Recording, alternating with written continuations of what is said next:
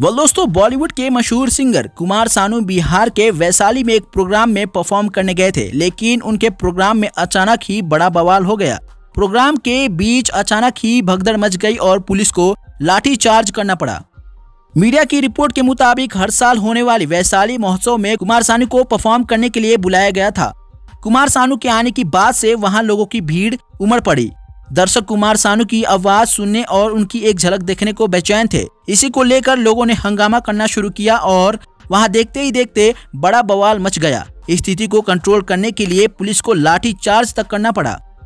Report के मुताबिक मौजूद लोगों ने वहाँ कुर्सियाँ भी तोड़नी शुरू कर दी। बताया जा रहा है कि भीड़ काफ़ी ज़्यादा थी और हर कोई कुमार सानू को बेहद करीब से देखना चाहता था, लेकिन प्रोग्राम में कुर्सियाँ कम पड़ गई।